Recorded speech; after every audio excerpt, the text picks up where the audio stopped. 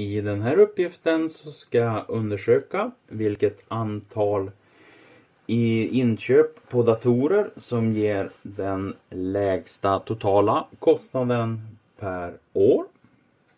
Och då har jag det här sambandet då som beskriver en datorbutik som räknar med att sälja 600 datorer per år.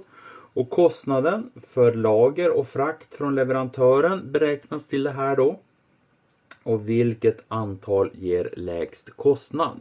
Så det jag gör till att börja med är att beräkna derivatan på det här.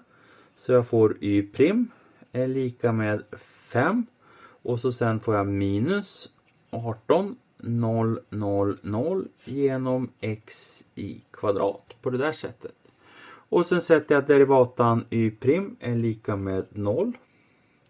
Så det här lika med 0 5 minus 18 000 genom x i kvadrat lika med 0 alltså. Och då flyttar jag över den här termen på andra sidan. Så får jag att 5 är lika med 18 000 dividerat med x i kvadrat.